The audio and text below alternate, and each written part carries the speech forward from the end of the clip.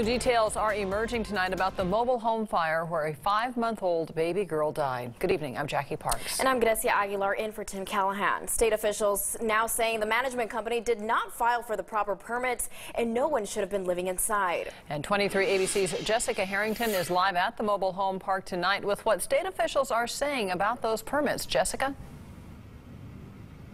Jackie, state officials said they alerted the property owner of this mobile home park here that seven of the units did not have the proper permits, permits that they say are important for the residents' safety.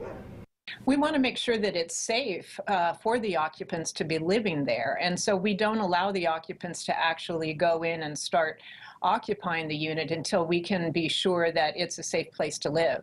Today, a memorial sits next to the ashes of the mobile home where five-month-old Janica Lozano died in a fire Sunday night.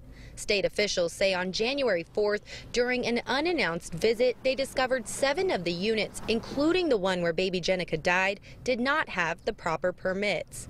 According to the California Department of Housing and Community Development, the mobile home property owners are required to file for a permit before installing a mobile home, and residents are not allowed to move in until the home has been inspected.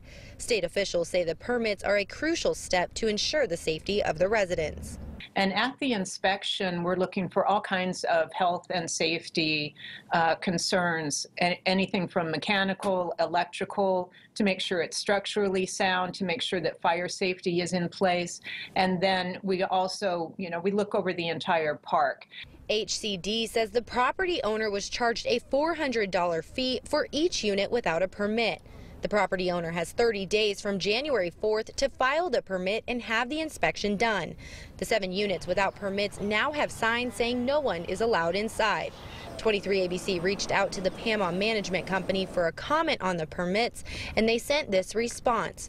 Quote, our most heartfelt condolences to Marco, Angelica, and their family.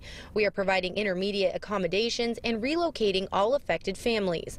We are working with all agencies and conducting our own internal investigation.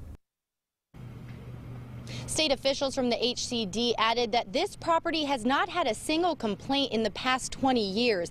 As for the fire, the Kern County Fire Department says no smoke detectors were found and the cause of the fire is still under investigation. Reporting live in Oildale, Jessica Harrington, 23 ABC.